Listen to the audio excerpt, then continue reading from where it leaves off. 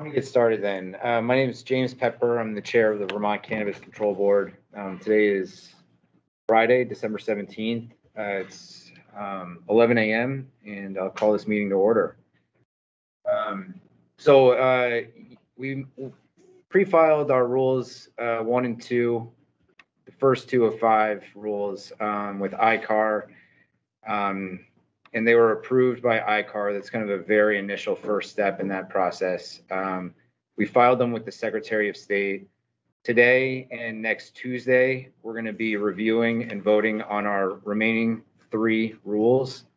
Um, and we hope that that means that we can pre-file them before the new year. Um, and that again kind of puts us on a track towards um, meeting our statutory deadlines uh, that are in Act 164.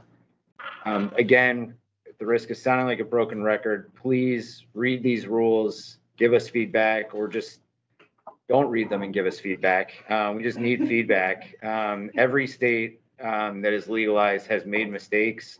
They've left things out. Um, they've done things that they wish they didn't, um, that don't make sense. And we really here in Vermont are trying to create a regulatory structure that allows the Vermont ethos to survive and thrive. And the only way that we can do that is to hear from the people that have built that ethos and are going to be most directly impacted by these regulations. So we're going to be meeting again next Tuesday. That'll be a slightly longer meeting um, when we kind of review and finalize rules three, four, and five. Um, the board will again hold its after hours meeting um, from six to seven on December 28th. And that'll be live streamed. You can join via kind of a link on our website. Uh, we don't have a physical location quite yet, but it'll most likely be here at, in Montpelier, 89 Main Street.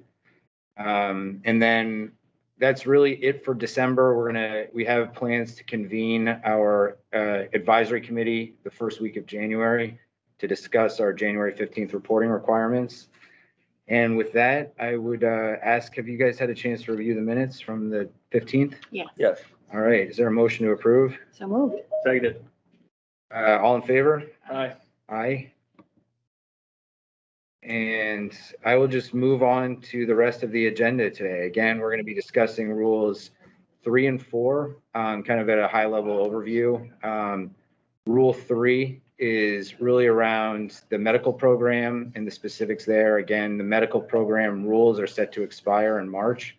And we need to um, kind of uh, create additional rules um, or kind of refile rules around the medical program. Again, trying to align it with the adult recreational market and ensure that um, nothing, no rule that we enact is more um, restrictive than the current uh, Department of Public Safety rules that are in effect. Uh, Rule fo- four is really around um, enforcement of our regulations. You know, what do violations look like? How do we provide notice to um, licensees? What does the grievance process look like? And um, and then Rule five is around board removal, um, board member removal. Um, so, Bryn, if you're ready, I'll turn things over to you. Yep. Um, okay, so thank you for that introduction. So the, what you're, the, what the board is going to do today is to, um, review some kind of remaining outstanding issues on rules three and four. The rules governing the medical program and the compliance and enforcement rule. And then, um, after that, we'll move on to rule five, which you reviewed, um, in some detail on Wednesday. Um, and there's one small change to Rule Five. Um, you have one remaining issue to discuss. And then the hope was that you could, um, vote on that one if you're ready. So then next Tuesday, you just have to go through Rules Three and Four, the actual text of Rules Three and Four, and, and vote on those on Tuesday. Okay? So Rule Three, the remaining issues that are, um, kind of outstanding to discuss are um, one issue that Julie raised when we reviewed the, when we reviewed um, kind of the bulk of that rule initially, which was in the portion governing the requirements for dispensary applications, whether or not there should be a requirement that the dispensary submit a plan for training or education of its staff. And um, the board had some conversation about whether making that requirement, since it is not required in the DPS rule, would be in conflict with um, that statutory provision, seven VSA nine fifty-six, which provides that no rule be- may be more restrictive um, than the DPS rule. But um, I'm kicking that back to the board for your continued conversation on that point. Um, any conversation around that? I mean, I, I, I think I've already said how I feel about this. I really do think that the dispensary should have a requirement to submit a plan for training for their staff. Kyle? I would agree. I, I- I think it wouldn't even be a cause for conversation if it wasn't for that no more restrictive Right. language, I think. At least from my perspective, I don't know how you feel. Um, And just so you all know, I did do a statutory review and uh, also checked, uh, talked a little bit with um, the current medical program staff. Do you think that it's defensible to add that type of language on the basis of requirements that are currently in statute and that operate in conjunction, obviously, with the current rules. All right, yeah, let's definitely do it then. And we'll just, you know, again, like the, what, what's gonna happen is if we include it in our rules, um, LCAR is really the avenue where, um, they're gonna look at the rule, they're gonna go to the lead sponsors and all the committees that created those, this specific requ- statutory requirement, and they're gonna ask if this is within the legislative intent. And so it's really gonna be their ultimate decision, but I think we should include it. I agree. Thank you. Great. So the next issue for your discussion um, is, so when we're, again, we're talking about Rule 3, talking about the requirements for patients. um, Should that healthcare professional verification form uh, be required with each annual renewal? Or would you like to make that a semi-annual renewal, so it happens every other year? So that's the form that's required where um, the healthcare professional signs off that the person has a qualifying condition. And are we treating chronic pain differently than the other qualifying conditions With respect to this? with respect to just renewals generally? No. We're not waiving the annual renewal for So incurable diseases. there is, um, that's a statutory requirement Okay. and, um, we do have, Right. we've had some conversations about whether that should be a requirement in statute or not, but it's not rule. I'm fine with every two years. I am too. me too. Moving right along. Well and true. I think the more onerous we make it for those types of renewals, the, the less strong the Agreed. medical program will be moving forward because people will just say it isn't worth it. Yeah. You know, So the last uh, remaining issue for the medical program rule is, um, has to do with the background checks for caregivers. Um, and the proposal is if there's a caregiver, um, if a caregiver is a family member, should the board, um, grant a temporary registration for that caregiver pending the outcome of the background check? Um, so this has come up, uh, in situations where a person has, um, has been diagnosed with a terminal illness, they need access to medication immediately. Um, should a family member caregiver be given a temporary registration while the board conducts the background check? Seems like a pretty easy one. Yeah. yeah. Uh, And Alright. we asked in our last meeting if there'd ever been an issue with a Right. caregiver, right? Right. Yeah. I, yeah, I agree. Yeah. All right, yes. I should allow this temporary registration. Okay. So that completes the outstanding issues on Rule Three. So the board will review the full text of that rule on Tuesday. Okay, so we're gonna move on to Rule Four. And um, we talked, um, I can't remember what day that was. Maybe last Friday about the, about Rule Four, the compliance and enforcement rule. Um, and I showed, we went through some slides, um, primarily on the categories of violations and what the potential outcomes could be.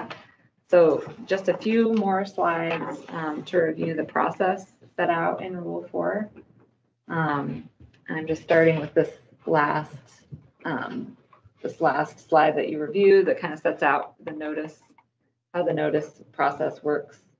Um, notice of violations can be issued with or without an immediate effect, depending on whether or not, um, the violation poses an immediate threat to public health or safety. Um, so we're gonna go through what that process looks like, um, for starting out with, yep, the notice of violations. So, um, notice of violations, the contents are, are listed here on the left and service on the right. So a notice will contain a concise statement of the nature of the violation and any factual basis for it. Um, the penalty or penalties to be imposed, any associated health and safety orders, um, if the violation poses a threat to public health or safety. Um, and information to the licensee about how to contest the violation. Um, and how to pay a waiver penalty if the licensee wishes to do so. And also submit a corrective action plan if that's part of the violation. And we'll talk about the waiver a little bit more on the next slide. Um, and then service, um, sufficient service shall be certified mail to the business address, um, on the licensee's application and also by email. And then there's also a provision that the licensee can opt in to receiving notice only by email. Okay. So, um, moving through the process here, a licensee can waive their right to contest a violation um, and pay a waiver penalty instead. So the amount that's provided for on the notice shall be the wa- uh, waiver penalty amount. And if the licensee chooses to do that, they can pay the waiver penalty and that will constitute kind of an acceptance of the board's penalty. Or uh, the licensee can choose to deny the violation um, and contest, contest it in writing or request a hearing, depending on what type of penalty they face. And we'll talk about that in the next couple of slides. Um, and depending on the outcome, the fine assessed, the waiver penalty can be the same as what the fine assessed ultimately is, or the ultimate um, fine can be lower based on the board's final decision. Okay, so we'll go through the process. Um, if the violation poses no immediate threat to pub- public health or safety. So this kind of sets out the timelines um, that the board has to abide by. So within 15 days of receiving a notice of violation, the licensee can contest um, by filing a written response to the board. And that written response has to contain each issue and fact in dispute, um, the rationale behind the licensee's position, and any pertinent facts to be determined by the board. If the licensee fails to contest the violation within 15 days, that constitutes an admission and an acceptance of the penalty.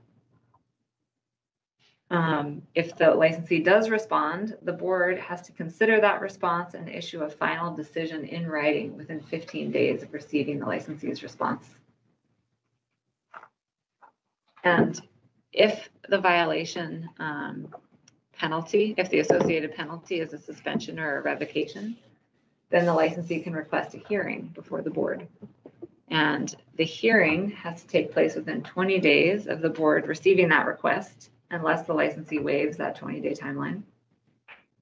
Um, Evidence can be introduced at that hearing in accordance with the statutory rules of evidence for contested administrative cases. There's a statute um, that will be cited in the rule. And the board can issue a, a final decision either on the record at the hearing or in writing within 15 days after the hearing is complete. And the board, their fi- the final decision of the board, either um, after the hearing or just uh, in writing um, in response to the licensee's response, can be to either uphold its original violation notice or to revise the penalty to be less severe. Um, or it can dismiss the notice altogether or the violation altogether. And then um, a person who wants to appeal that final decision can do so in accordance with statute. And that seven VSA eight forty-seven is the same appeal process that you reviewed on Wednesday with respect to the board um, removal rule. So we can look at that again if you'd like. This is the um, provision that a person has to appeal within thirty days of the decision to the executive director, who assigns the case to an appellate officer. And an appeal from there goes to the Supreme Court.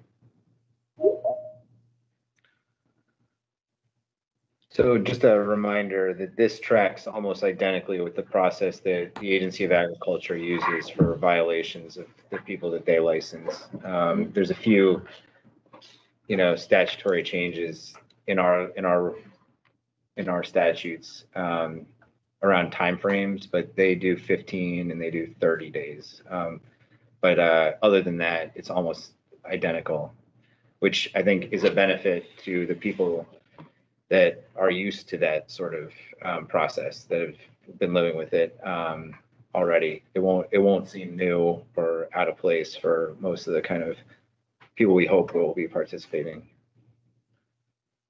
Yeah, and if our, if our hearing shall take place within twenty days versus thirty days at ag, recognizing that this is folks' livelihood. Yeah. And if there's an, an issue and they need to stop or close their doors or whatever, I think it makes sense that we work as expeditiously as we can to come to some type of resolution.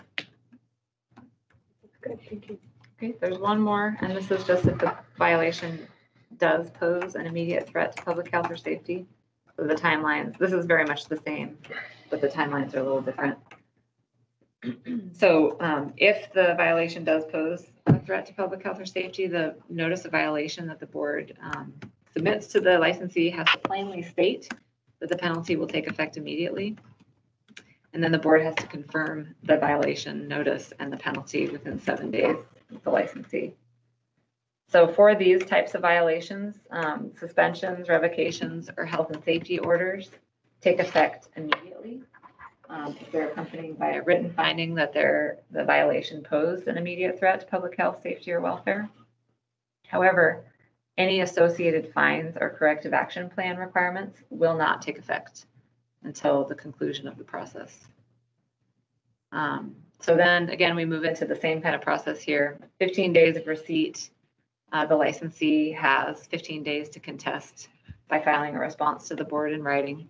And that response has to include the same information that, um, that was provided on the former slide about facts, um, supporting their position.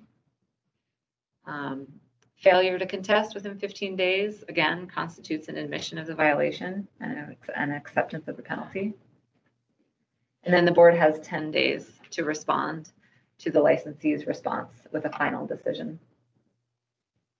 Um, And if the, if the penalty associated with the violation is a revocation or a suspension, um, once again, licensee can request a hearing um, as opposed to just a written response.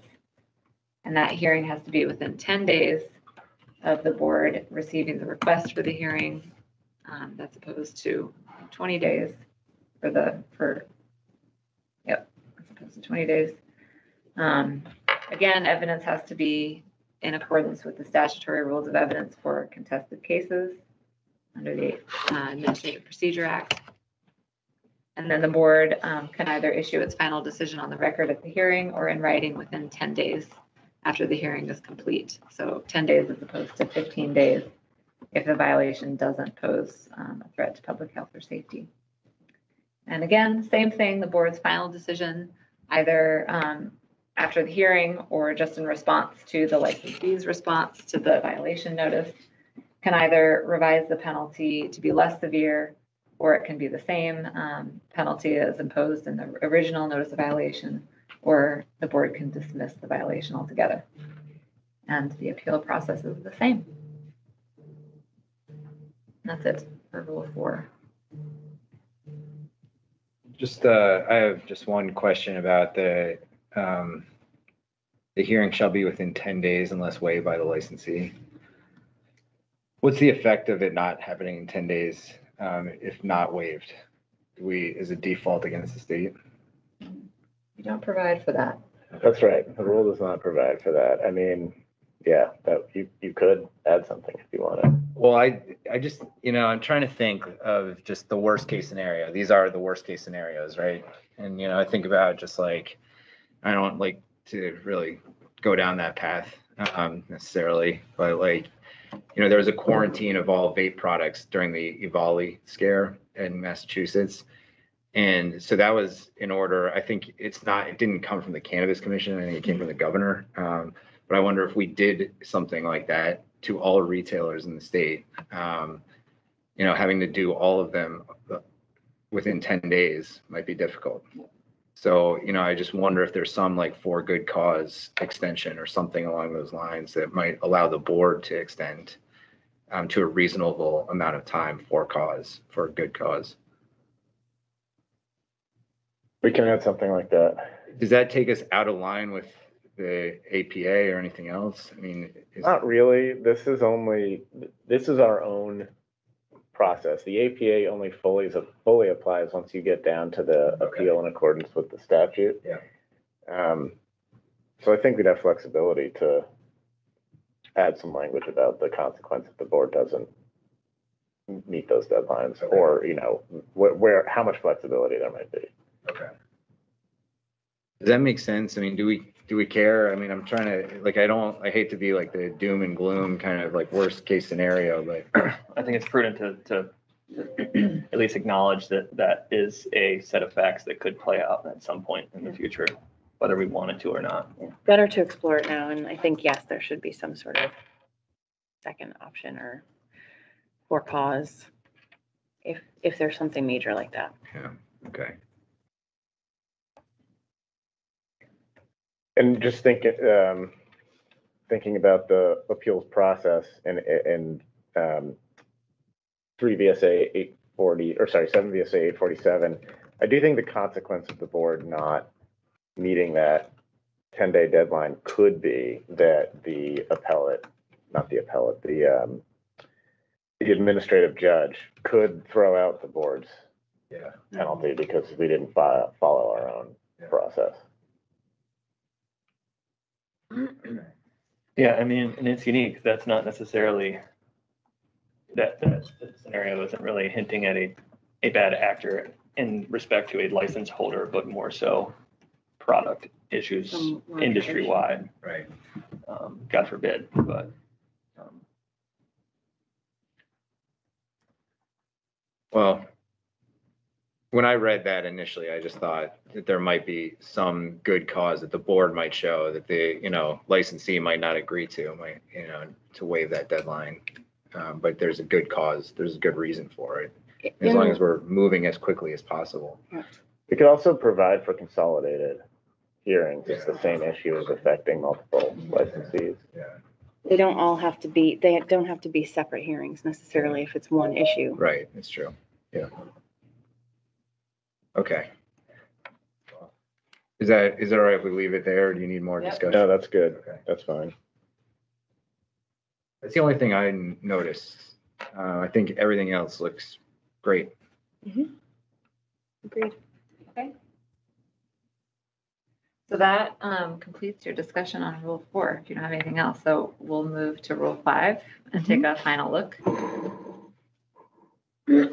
So um, this is the rule that you walked through on Wednesday.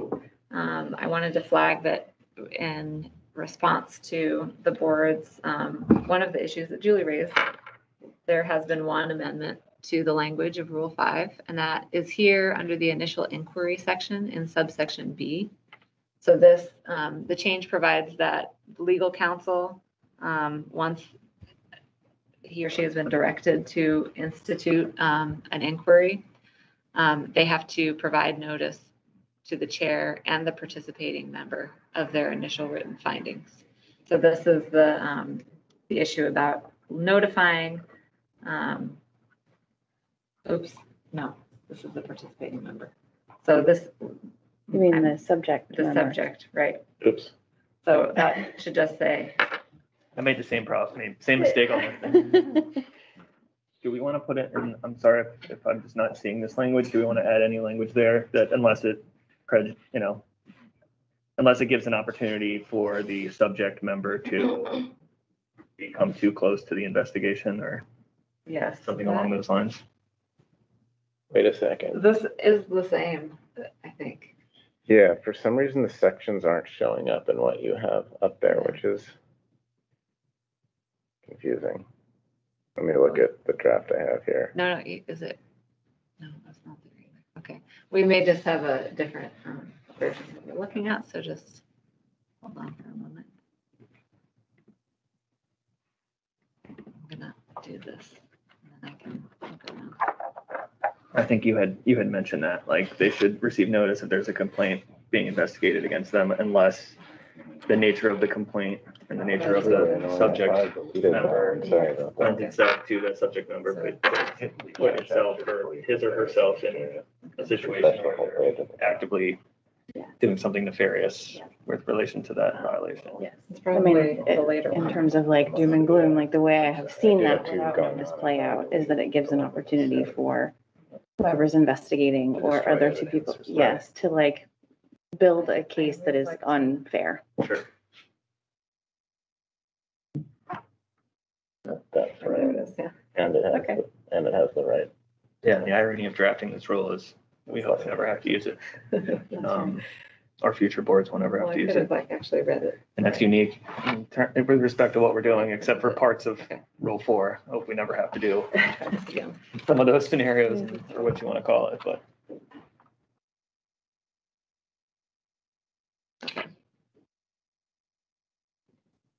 The right version now.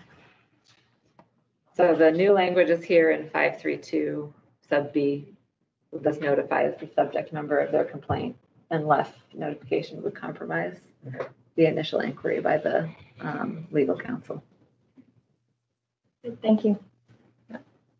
So that's the only change to the text of it as we went through it on Wednesday. Um, There, the board did have some conversation about whether or not the process should be confidential. Um, So, yeah, I raised the issue that, you know, maybe these proceedings should be confidential. I, I had wrongfully assumed that they were confidential in other contexts. Uh, David kind of pointed me to the um, Judicial Ethics Bureau Board. um, And this pretty well tracks what, you know, is, happens in other kind of disciplinary actions. So um, I'm fine with it not, the formal proceedings not being confidential. Same. Great, yep. Subject to, of course, like public records laws or whatever. Right, and there's the carve outs for the personnel files, but that's already in there. So are you ready to vote out Rule 5 then? Yeah, I think so. Okay. Um, I would take a motion to approve Rule Five as drafted, as we see here. So moved. Seconded. All in favor? Hi. Aye. Aye. So I don't know if we have anything else on our agenda for today, um, other than public comment. I know that, uh, next Tuesday, we are planning on having a, a probably more of a marathon meeting just to review the actual text, um, line by line of, uh, four, rules three and four. Um, so, uh, why don't we just move towards public comment for today? We're a little ahead of schedule, but if you, we have some folks in the room. Start with them. Do you have public comment? Nope. Um, anyone who joined via the link, um, please raise your virtual hand if you'd like to make a comment. First up, we have Jesse Lynn. Hello, how y'all doing today? Thanks so much for having us all and taking public comment. Um, I just wanted to reiterate my request for you guys to address res- res- uh, recipro- why can't I say it? Um, reciprocity today. Um, so if you guys could, you know, I mentioned before, I think reciprocity is really important for patients who are moving to Vermont from out of state, who are coming visiting on vacation, who have second homes. So if you guys could please consider looking at readdressing reciprocity. I think that's an important part of the program we're missing.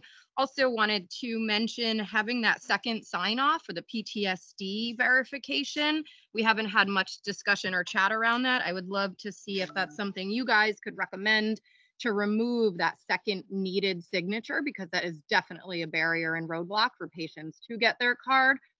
Um, and lastly, I just wanted to thank you and agree that I, I strongly believe we need educated medical staff or medical professionals or at least the medical dispensary staff having a stronger education and background. And in my opinion, I, um, really, like I said, I appreciate you guys pushing for that. And if the dispensaries or legislators are trying to work against that, that's a larger concern from the systemic kind of sense. So, so again, just hoping you guys can look at the PTSD and the reciprocity as we move forward and include that while you're making some of this rulemaking change. Thank you.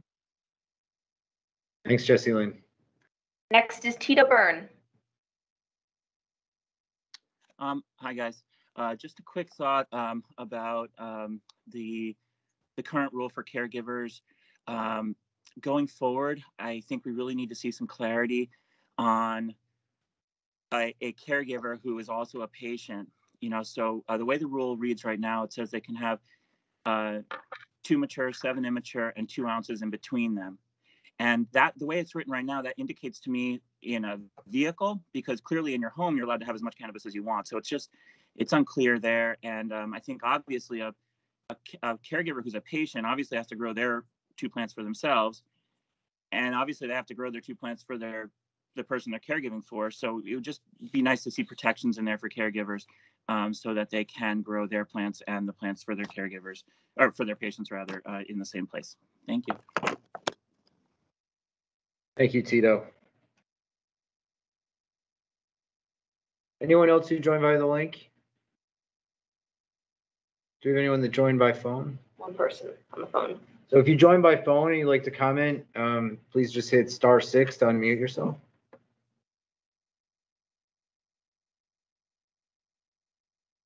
Oh, uh, Jessie Lynn raised her hand again. Um, Jesse Lynn, we try not to do repeat, uh, comments, um, during these meetings. Uh, we will be meeting again next Tuesday, uh, and have probably at least two public comment periods then. Um, and I know you know how to reach us all, so if you would like to comment, please, um, just either submit it through the web portal or email us or, um, come back to us on Tuesday. Uh, we had Old Growth Organics just raised their hand. Old growth? Hi, I figured since this is such a quick meeting, now might be the time to do this, but there's actually a shout out to Amelia. I just want to ask if you want to be my friend. Um, I always really respect what you have to say, but I don't know how to get a hold of you, and I'm moving to Vermont soon. So, Old Growth Organics on Instagram is spelled out just like in the participant here with underscore between um, the words. Thank you guys so much for your time and for all the work you're doing. Thank you. Anyone else? Mm-mm. No. Okay, well, um, just a reminder, we do have, um, our, another meeting on Tuesday at eleven and, um, we'll be reviewing rules three and four in, in greater detail then. So other than that, I will adjourn the meeting. Thank you. Good.